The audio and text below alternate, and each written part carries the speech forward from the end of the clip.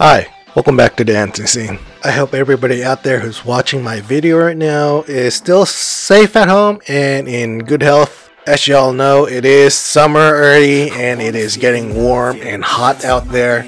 So um, if you have a way of getting cool while um, practicing social distancing, please do so. I would like to thank uh, the essential people out there who are still working their butts off. I pray to God that uh, you are safe and in good health as well.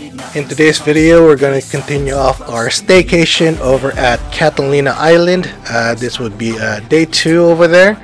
And I believe uh, on that day, I would be uh, driving a cart around the island.